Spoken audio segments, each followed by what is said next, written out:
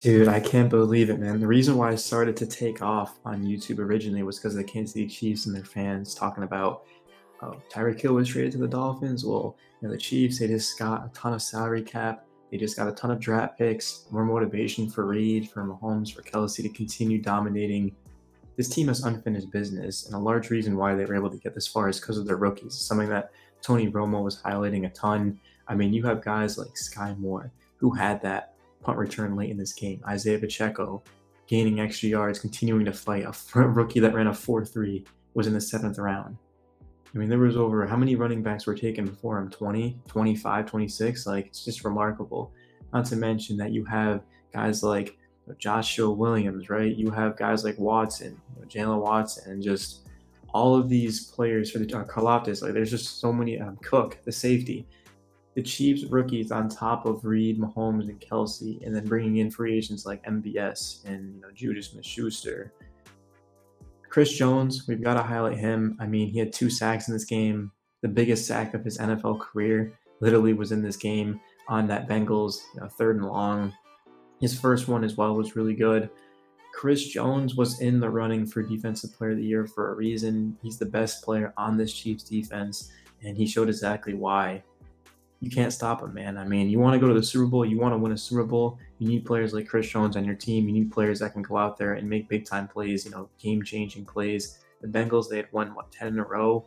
Joe Burrow has a chance to lead his team down the field for a game winning drive, and Jones makes that play. So before I get into the video, though, if you guys are a fan of the NFL, you've come to the right place. My name is Swaggy, and I post one to two videos every single day. I have been posting Chiefs videos since the summer. Like I said, the first video that I made on YouTube for the NFL was a Chiefs video that really put me on the map. So appreciate you guys and your fans. I did pick the Chiefs to win the Super Bowl before the playoffs. Obviously, I picked the Chiefs to win this game. If Travis Kelce didn't play, probably a different story. But Mahomes threw for over 300 yards in this game, two TDs, no interceptions. Obviously, to lose a fumble, which is unfortunate. But the fact he was able to, on a high ankle sprain, get out of the pocket, and especially that run which extended the uh, game, of course. On that third down, he was able to reach, and then of course the Bengals had that unnecessary roughness penalty, moved the chains, you know, uh, moved the field 15 more yards, and then Butker was able to hit that kick. The Chiefs, it seemed to me like at one point in time they were gonna actually multiple points in time they were gonna lose this game just because of mistakes like that fumble by Mahomes that led to a touchdown, and you know maybe Butker misses that kick or something. I don't know. Just sort of silly mistakes, silly situations that the Chiefs, uh, you know, you look at the past three times these two teams have played, the Chiefs have missed kicks.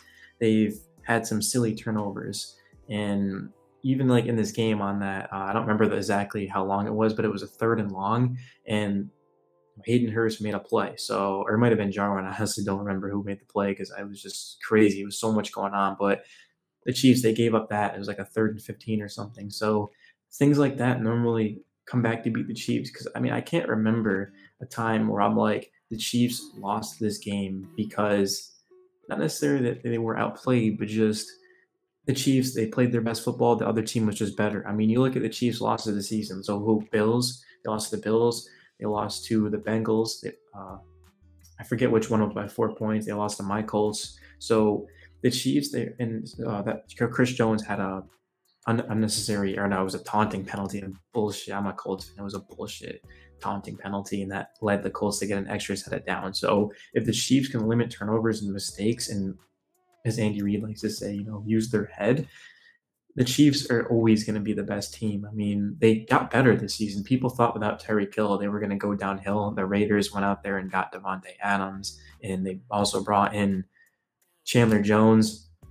On top of that, the Chargers they brought in J.C. Jackson and Khalil Mack they brought in, uh, I'm looking at a Sebastian Joseph Day. And then Broncos, Russell Wilson, right? A new coach. Um, was it Fangio?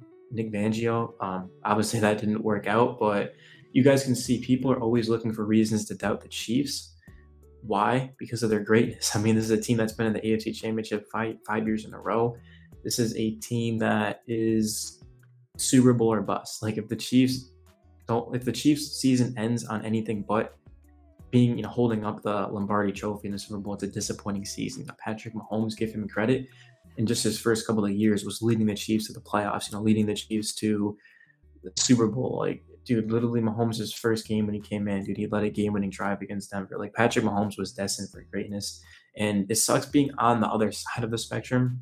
I've been there before. My Colts with a minute ago. Andrew Luck. That's all. That's how long ago it was. Unfortunately, we blow now, but Andrew Luck, we, we fell victim to Mahomes in the playoffs, and Joe Burrow has now done that. Obviously, Burrow's beaten Mahomes. Not many quarterbacks can say that they've beaten him. You know, Brady's done it, Burrow's done it, but this season that wasn't the case. I mean, the Bengals just they weren't good enough, man, and it's crazy to think about because you know the Chiefs didn't get off to the best start, and there was several times this year where the Chiefs were far from number one in the power rankings. There was times where they were, but teams like the Eagles and the Bills and the Bengals, you know, it seemed like the Chiefs were flying under the radar for not a lot of good reasons. But the Chiefs, like I said, they won this game because of the rookies that they have. I mean, Mahomes, Kelce did their thing. Andy Reid called a good game. Spagnuolo, give him credit for this defense. He doesn't get enough credit. Spagnuolo is a good coach. A lot of Chiefs fans want him gone, but he held the Bengals to 20 points. And remember, this is a really young, this is a defense that starts five rookies. They play up to eight consistently. I mean, but I mean, where do you even begin with this football team? I mean, you go back to that third and third and uh, three, right? So the Chiefs, they make a play. They had that tip drill interception by Joshua Williams. That was their second of the day by a rookie. A rookie. Joe Burrow was picked off twice by a rookie today. The fact that that happened is just crazy to think about. Travis Kelce, he passed Julian Edelman for the second most receiving yards in postseason history with you know, over 1,442. Next up is Jerry Rice. So you can see, I mean, I've been saying all season, you know, Travis Kelce is the best tight end of all time. People were like, Gronk, you know, Gonzalez or whatever. I mean, I don't know what else Travis Kelce has to prove. I mean, this guy's like 33, 34 years old and still going out there, and he's the best tight end in the league by far. George Kittle is great, but he's not Travis Kelce.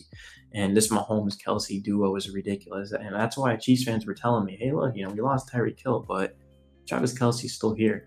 And that decision to unload Tyreek Hill not only set up the Chiefs to be better this season with those rookies and picks and more flexibility, but for the future because now they have they're not paying you know Tyre, a 29 year old Tyreek Hill who is injury prone because he's so small and you know Tyreek Hill also relies heavily on his speed and athleticism. Once that starts to wear off, Tyreek Hill won't exactly be that. He'll still be he'll still be an okay player, but he's not going to be the player we know him as now. That you know, the guy that can is can put up 2,000 yards in a season in a hurry. Um, he was on pace for that, but obviously the two uh, in, you know concussions and things like that. Uh, L'Jarius Sneed had a concussion, did not return. Kadarius Toney left with an ankle injury. Um, the Chiefs were just dealing with injuries in this game. They've been dealing with injuries all season, but they kept fighting.